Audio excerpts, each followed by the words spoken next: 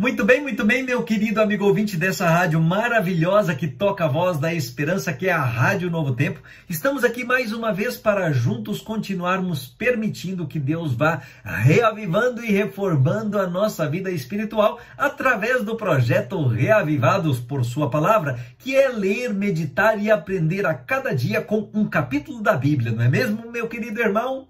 Hoje nós temos um poema para ler que é um hino, um cântico de louvor à majestade de Deus que, como quem criou todas as coisas, desde todo o sempre, exerce sobre todo o universo a sua soberania. É um texto muito lindo. O Salmo 93 é aquele tipo de salmo que eu lhe diria assim: Decore este salmo, meu amigo. Tenha este salmo memorizado na ponta da língua, porque ele é realmente um salmo curtinho, mas muito lindo e muito poderoso. E como para decorar é preciso ler ou ouvir muitas vezes, aqui já vai a primeira leitura deste salmo para você ouvir.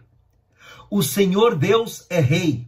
Ele está vestido de majestade e coberto de poder. A terra está firme no seu lugar e não pode ser abalada. Ó oh, Senhor, o teu trono está firme desde o princípio, tu sempre exististe. Ó oh, Senhor Deus, o mar profundo levanta a sua voz, o mar ergue a sua voz e ruge.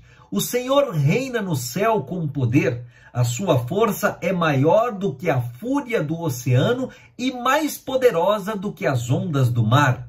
As tuas leis, ó Senhor, merecem confiança e o teu templo é santo para sempre. Você não acha que vale a pena decorar esse belo poema? Então pegue a sua Bíblia, entre em comunhão com Deus e leia o Salmo 93 mais uma vez e outra vez e outra vez até decorar e ficar reavivado por sua palavra, tá ok? E assim eu vou estar tranquilo aqui por saber que o Senhor vai continuar reavivando e reformando a sua vida, que é o mais importante. Tchau!